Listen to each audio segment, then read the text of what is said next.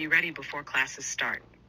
Transitioning from high school to college can be a big change for students, with many moving away from family and friends for the first time. For those stressing over this new life chapter, there are ways to prepare before classes begin. From researching academic supports to practicing time management, the following tips can help incoming freshmen get organized and build a foundation for college success. Next, be prepared to be treated as an adult. 2. Be prepared to be treated as an adult. The transition from high school to college is more than just a move to a higher level of education. In many ways, it signifies the change from childhood into adulthood. And although students may not feel quite like adults, that's how colleges and universities will treat them, says Josh Stern, Vice President for Student Services and Dean of Students at Gwynedd Mercy University in Pennsylvania. Mail and information surrounding grades and financial aid will go to students instead of parents or guardians, he says. Students need to understand that mom and dad, or their parents or supporters, might not be getting that information, Stern says. They really need to know how to navigate planning their schedule when the bills are due and how to access their grades. Next, embrace time management tools. 2. Embrace time management tools. College offers a sense of independence that many students didn't have in their high school years, when teachers and parents kept them on track for graduation. Balancing the academic and social demands of college can be a challenge for even the most diligent students. But there are plenty of digital tools designed for students, and a little organization can go a long way in making sure time is used wisely. Smartphone apps and tools can help students limit time on entertainment and social media and maintain their study schedules. I always encourage students to think about things that help them maintain their focus, have a little bit of self care, but also to have fun, Stern says. They need time to blow off steam to take care of stress, and there's lots of resources on campuses to help them do that. Next, make a plan for communicating with your parent or guardian. 22. Make a plan for communicating with your parent or guardian. Going off to college isn't just an adjustment for students. It can often be a challenge for parents and guardians particularly those with first generation college students. Striking the right balance between letting students be independent and maintaining parental responsibilities can be tough. Students and parents should determine plans for how and when to communicate, especially as it relates to important matters like grades, bills, and financial aid. It's important that they have a conversation with their parents about how often they're going to be in touch not just to ask for money or to come home to do laundry, Stern says. What are the parents' expectations for their student in terms of communication and sharing information? Next, read as much as possible. Read as much as possible. College coursework consists of substantially more reading than is required in high school. Students should start getting used to the increased workload by reading books during high school and the summer before college. While many students read for pleasure over the summer, some colleges assign a specific book to incoming classes to read prior to the start of the semester, which may then be discussed in introductory courses and other forums. Students looking for a good read should check out some of the common reading programs used at colleges across the nation, including multiple New York Times bestsellers and books grappling with societal and political issues. Next, research possible college majors. 622. Research possible college majors. At most colleges, freshmen don't need to know right away which college major they will pursue. But students should start thinking about it in preparation for selecting courses. Those interested in pre law and pre med, for example, should learn more about those tracks if their college offers them. Experts encourage students to explore academic advising programs at their respective schools to understand what classes are needed to complete requirements for majors or minors, and ultimately their path to graduation day. Next, build a manageable course schedule. Build a manageable course schedule. While some colleges have students set up their freshman year class schedule at orientation, others do so during the summer. Students who are hoping to graduate early or who have extra requirements due to their major may feel compelled to take a heavy course load. But for the average student, it's best to stay within the recommended number of credits and courses per semester, says Sarah Harbison, founder of college consulting firm Application Nation. That number will vary, but she says any more than five courses per semester can create a significant challenge. The college recommends a certain number and a certain number of credits for a reason, she says.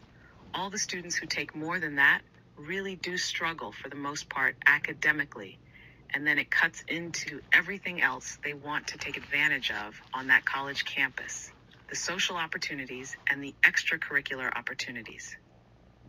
Next, think carefully about what's needed for your dorm or apartment. 822. Think carefully about what's needed for your dorm or apartment.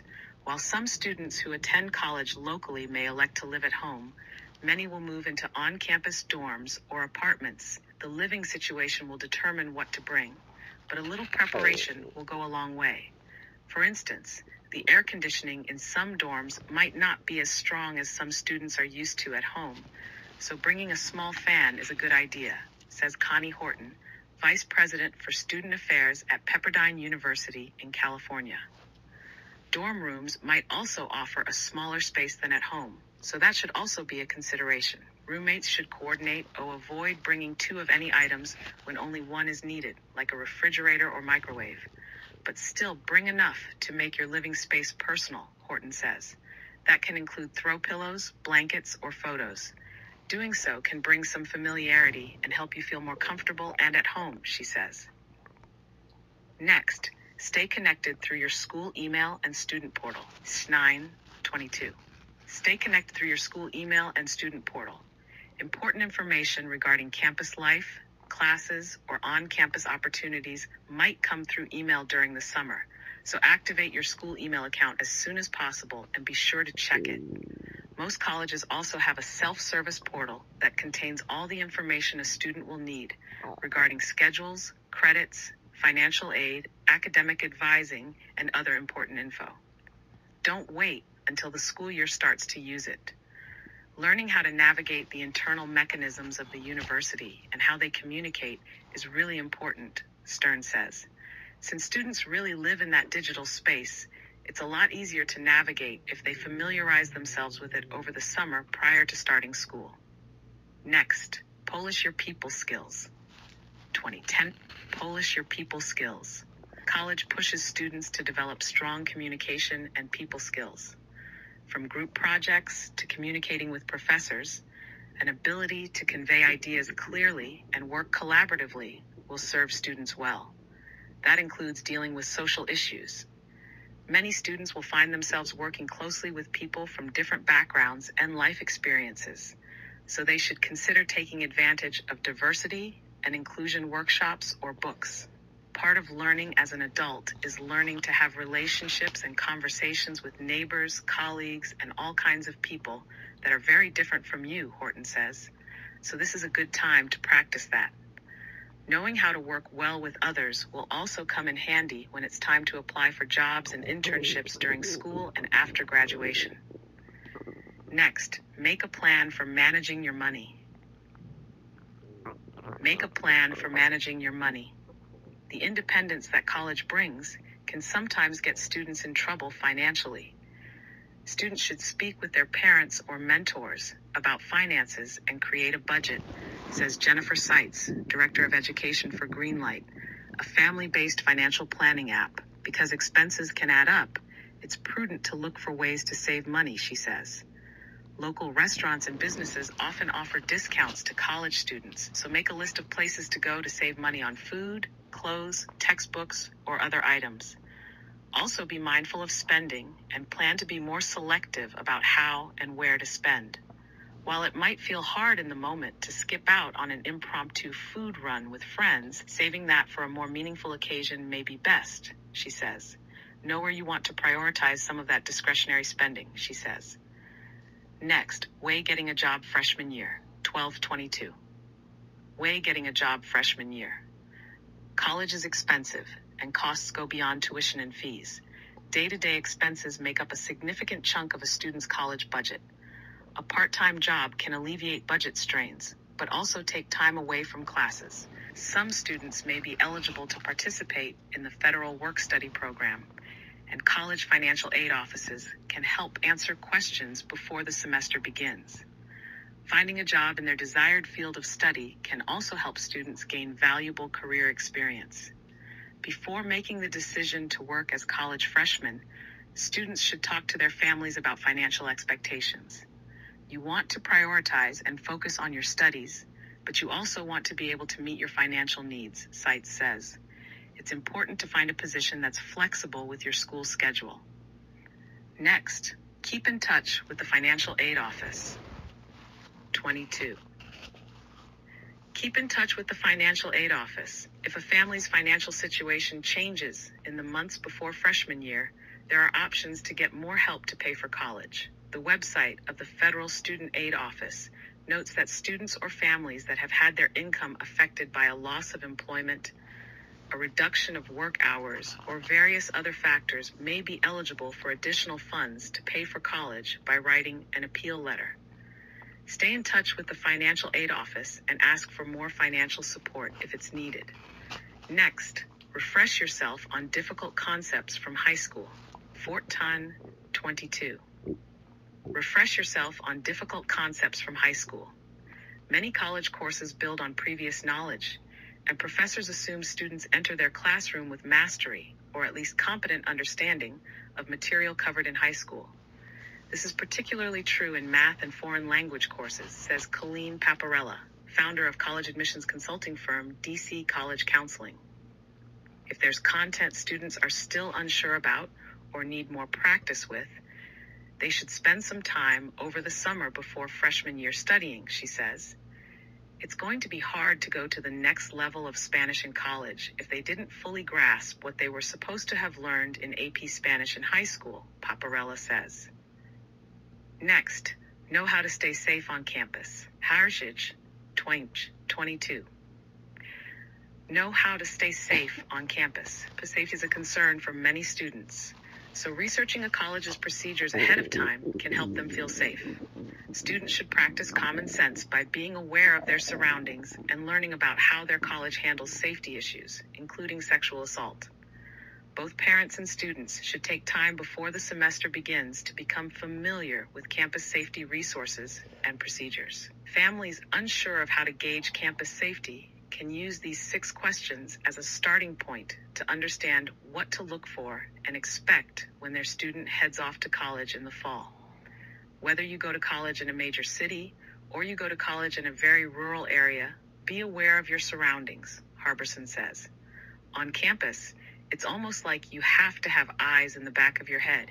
I don't think it's just reserved for students who go to college in an urban area. Next, prepare for how to deal with social pressure around alcohol or drugs. 22. Prepare for how to deal with social pressure around alcohol or drugs. Away from home, students may find it easier to slip into unhealthy behaviors, including around alcohol and drugs.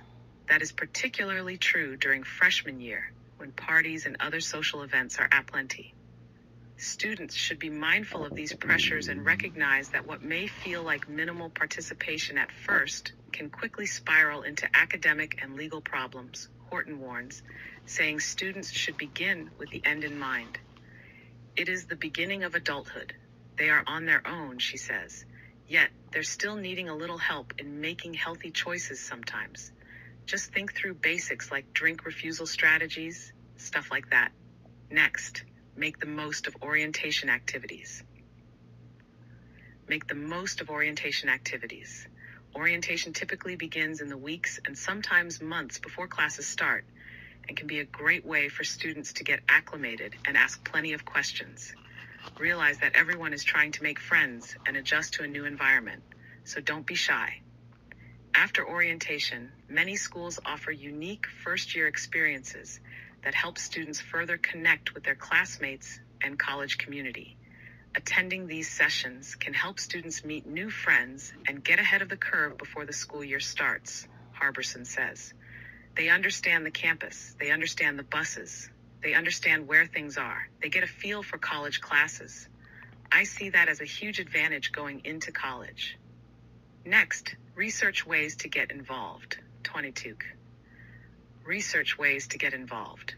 College provides a number of opportunities for students to explore existing interests or embark on new hobbies. Whether it's joining a musical ensemble or organizing around social issues, many schools make it easy to get involved. Having a plan of action before arriving will help students select meaningful activities and ensure they don't miss important sign up dates or meetings once school starts. Use social media to discover clubs or organizations you might like to join. Then reach out via email, Paparella says. Look for ones that seem active and inclusive. Once students get onto campus, they can go to some of these activities and already have an idea in mind of what they'd like to sign up for, she says. Next, know where to go for academic help. Know where to go for academic help. Incoming freshmen should be aware that colleges offer a range of ways to get academic help. Many schools have writing centers dedicated to helping students with essays and research papers. Students having difficulty in a class or who just want to speak with a professor one on one should take advantage of open office hours. School libraries can also offer knowledgeable staff and study resources to help students. These options can be especially valuable for international students who might be struggling with English language skills or students who need accommodations. Be proactive in reaching out to the necessary offices if you need support, Harbison says. Most colleges and universities are doing a really great job with those. Next, find more resources for college success. 22. Find more resources for college success.